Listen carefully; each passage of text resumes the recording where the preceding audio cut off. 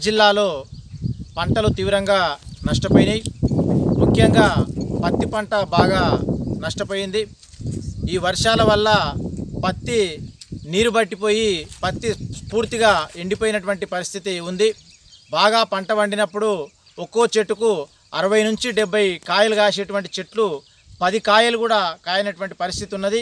ఈరోజు మెదక్ జిల్లా టేక్మాల్ మండలము మండల కేంద్రంలోని సంగప్పకు సంబంధించినటువంటి చేరును మేము పరిశీలిస్తే పూర్తిగా నీటి పట్టిపోయి సగం పైన పంట పాడైపోయింది. మరి వీటన్నింటినీ అధికారులకు చెప్పుకుందామంటే మెదక్ జిల్లాలో ఇలాంటి అధికారులు కూడా లేనటువంటి పరిస్థితి నెలకొన్నది.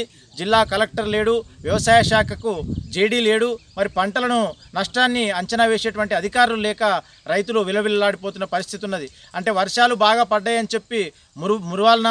లేదా ఈ వర్షాల పడ్డ పంటలు దెబ్బతినే తినేది ఏడువాలనటువంటి పరిస్థితి ఇలా రైతుల్లో నెలకొన్నది. ఒక్క పత్తి పంటనే కాదు గతంలో గత రెండు రోజుల క్రితం మేము వరి పంటను పరిశీలిస్తే కూడా దోమపోటు వల్ల మొత్తం వరి పంట అంతా కూడా నష్టపోయింది. దీనికి కారణము ప్రభుత్వము. ప్రభుత్వమే దీనికి బాధ్యత వహించాలి. ముఖ్యమంత్రి గారు ఈ పంటల సీజన్లో చెప్పిర్రు. మేము పెట్టినటువంటి పంటలు వేస్తేనే రైతు బంధు సహా ఇతర సంక్షేమ పథకాలు అమలు అవుతాయి. లేకపోతే మేము అమలు చేయమని చెప్పి ప్రభుత్వం చెప్పింది.